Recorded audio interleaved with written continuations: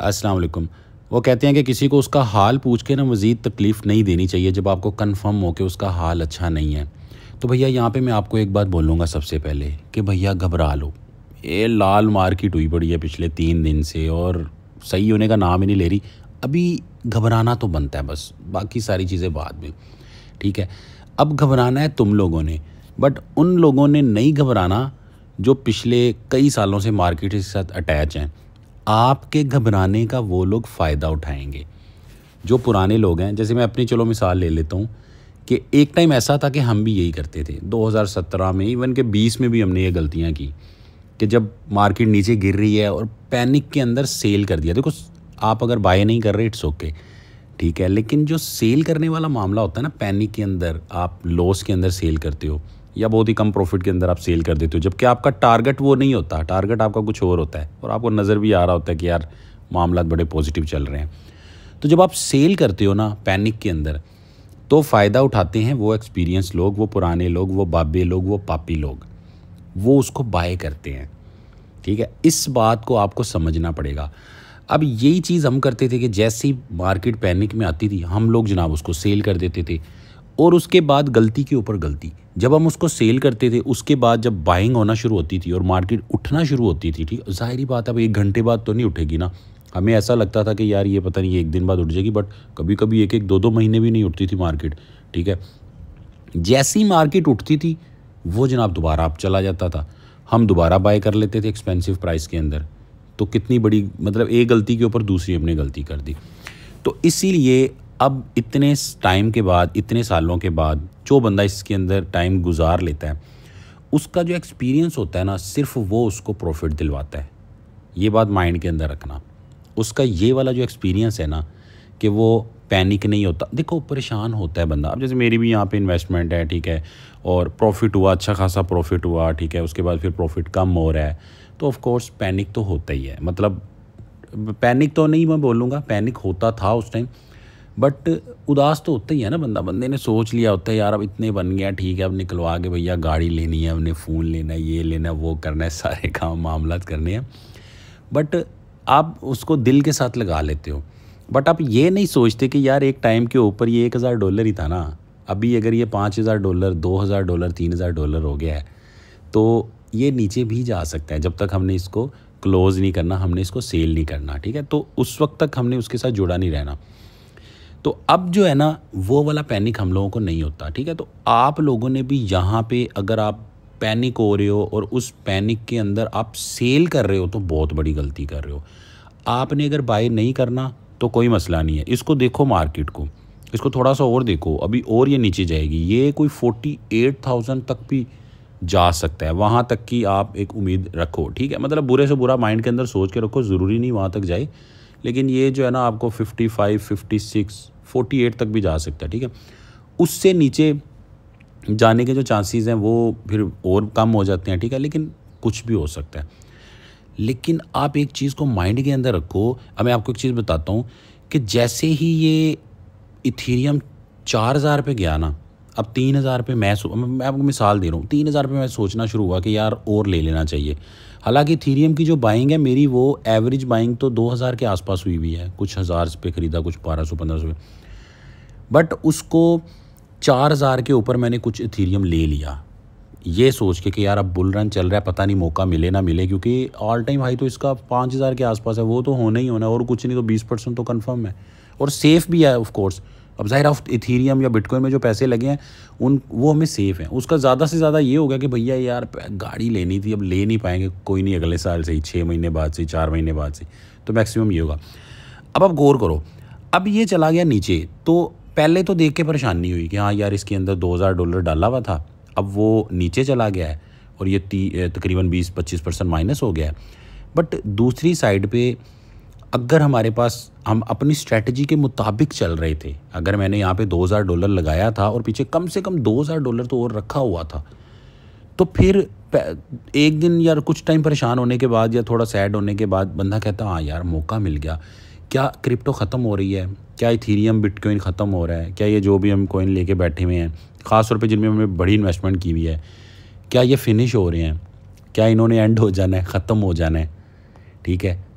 या इन्होंने अभी चलना है? तो अगर इन्होंने चलना है तो भैया ये तो मौका हो गया ना हमारे लिए दोबारा इनको, इनके अंदर इन्वेस्ट करने का, ठीक है?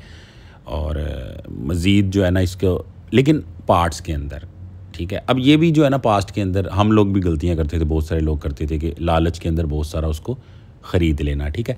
तो एक तो ये काम नहीं, एक तो पहले सेल नहीं करना आपने। दूसरा आपने ये नहीं करना कि यार नीचे है तो फ़ौरन सारा बाय कर लूँ। क्योंकि ये मार्केट इस तरह की चीज़ें आपको दिखाती है। और तीसरा, आपने सब्र रखना है इसके अंदर। मार्केट कभी भी वो नहीं करेगी जो आप या आपका दिल चाह रहा है। मार्केट अपनी मर्ज़ी से ही चलती है। इन चीज़ों को जो है ना अपने माइंड के अंदर रखो और मार्केट में जो बड़े बड़े प्लेयर्स हैं, वो आपके पैनिक का फ़ायदा उठाते हैं। वो वहाँ पे बाय करते हैं। ये क्यों उठता है वापस? ये इसीलिए उठता। अब गौर करो कि यहाँ पे मार्केट बुरी हुई हुई है, आप परेशान हो रहे हो, बट कोई इसको उठाएगा मार्केट को। क्या वो पागल हैं या हम पागल हैं जो सेल कर रहे हैं? हम पागल हैं भाई। तो इसीलिए इस चीज़ को ना माइंड के अंदर रखो आप, ठीक है? और आप इस चीज़ को पक्का कर लो कि जो भी पैसा आपने लगाना है, कम प्राइस के अंदर लगाना है, जैसे भी लगाना है, आपने उन, उसको पार्ट्स के अंदर ही लगाना है और पार्ट्स भी आपने ज़्यादा करने आपने ये चीज़ नहीं सोचनी अब ये चीज़ ना इंसान के माइंड में आ जाती है। इवन कि रिसेंटली देखो, आज से आठ दस दिन पहले मैंने भी कुछ हद तक ये गलती कर ली कि मेरे पास जो पैसे पड़े हुए थे, मुझे उसमें से शायद ट्वेंटी परसेंट लगाना चाहिए था या थर्टी बट मैंने शायद चालीस परसेंट लगा दिया या पचास परसेंट लगा दिया मैंने उसके अंदर।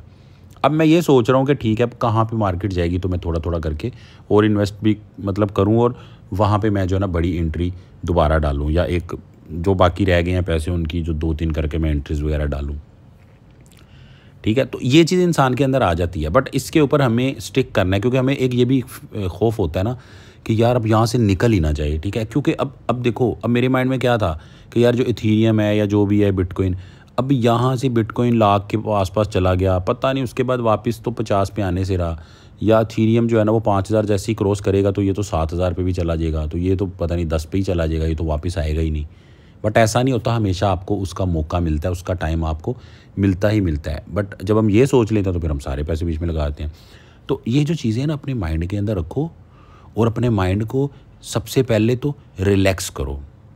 इस सारे मामले में एक ही चीज़ होती है कि आप डिले होते हो, बस। और कुछ भी नहीं होता, ठीक है? प्रॉफिट जो है ना, आपको फिर भी वहाँ पे नज़र आ रहा होता है। अब जैसे यहाँ पे देख लो भैया प्रॉफिट ही था, ठीक है, बस सही है, कोई बात नहीं। लाख आ रहा था, सत्तर हज़ार आ रहा है इट्स ओके यही समझ लेंगे हम, ठीक है? अब यहाँ पे नीचे आप चेक करो, अभी जो कोइन लगाए थे वो ज़ाहिर माइनस में है। नीचे वाले माशाल्लाह अभी भी चेक करो हंड्रेड परसेंट फिफ्टी परसेंट ये अभी मैं कल जो वीडियो आपको मैंने दिखाया उसमें टेन एक्स हुआ हुआ था, अब उसमें से भी थोड़ा कम हुआ हुआ है सोलाना ठीक है? शिप के अंदर भी प्रॉफिट हुआ हुआ है। तो ये देखो, ये जो ऑलरेडी जो है ना प्रॉफिट के अंदर चल रहे हैं। उसके अलावा अगर यहाँ पे हम जाके देखते हैं अपने किसके अंदर स्पॉट के अंदर अगर मैं जाके देखता हूँ तो यहाँ पे भी देखो, ये शिप खोल के मैं आपको दिखा देता हूँ। अभी तो आपको माइनस नज़र आ रहा है, आज के दिन में ही दो सौ तेरह डॉलर मतलब माइनस नज़र आ रहे हैं, ठीक है?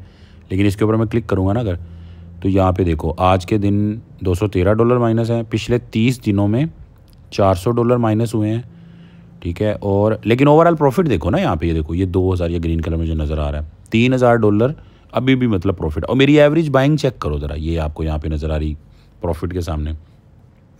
इलेवन पे, यानी वन पे एक टाइप की हुई हुई है। क्या इलेवन बोलेंगे? हाँ इलेवन बोल लो इसको। चार ज़ीरो और आगे इलेवन पे बाइंग हुई हुई है। और उसके बाद हाईएस्ट प्राइस जो है ना, वो ट्वेंटी सेवन और उसके बाद अभी जो मार्केट प्राइस चली हुई ट्वेंटी थ्री चल रही है। तो अभी भी देखो, एक सौ पंद्रह परसेंट मैं प्रॉफिट में हूँ। हाँ मैं ये कह सकता हूँ कि यार, मैं 200 परसेंट प्रॉफिट में था, ठीक है। अब इसके अंदर जो है ना, और थोड़ी बहुत हम एंट्री डाल लेंगे। बट अब वेट करेंगे कि यार, या तो कम डाल लेंगे या वेट करेंगे कि और नीचे आइए। ठीक है तो इसी तरह जो है ना BNB को चेक कर लेते हैं। BNB की जो एवरेज बाइंग है यहाँ पे BNB में 1200 डॉलर प्रॉफिट हुआ fifty percent average buying check करो, तीन सौ चौंतीस डॉलर ठीक है? तो ये बरल जो पहले लिया हुआ था भाई उसमें, जो अभी रिसेंटली लिया है, वो तकरीबन दस, पंद्रह, बीस मैक्सिमम तीस परसेंट जो है ना, वो माइनस के अंदर है। परेशान नहीं होना भैया यहाँ पे। इंसान हो जाता है पैनिक मैं खुद भी हो जाता हूँ, ठीक है, मैं आपको भी रिलैक्स कर रहा हूँ, खुद को भी मैं रिलैक्स कर रहा हूँ बट अब वो वाली टेंशन नहीं होती पहले वाली, कि पैनिक के अंदर आके बड़ा गलत डिसीज़न नहीं होता। अब ये होता माइंड बन जाता फ़ौरन कि ठीक है यार इट्स ओके कोई मसला नहीं है। प्रॉफिट होना था, पैसे निकालने थे, चार महीने बाद निकाल लेंगे, दो महीने बाद, तीन महीने बाद निकाल लेंगे, साल बाद निकाल लेंगे, यार हम भी इधर ही हैं क्रिप्टो भी इधर ही है, ठीक है तो बात की आपको समझ आ गई कि भैया, या तो माइंड में ये तुमने ये सोच लिया कि भाई अब के बाद क्रिप्टो ख़त्म तो बेच तो निकल जाओ फिर। अगर क्रिप्टो ख़त्म नहीं है, ये bitcoin B N B ethereum OP, Shopee, ये जितने भी इन सबने वापस ऊपर आना है तो भाई क्यों लॉस में सेल कर रहे हो?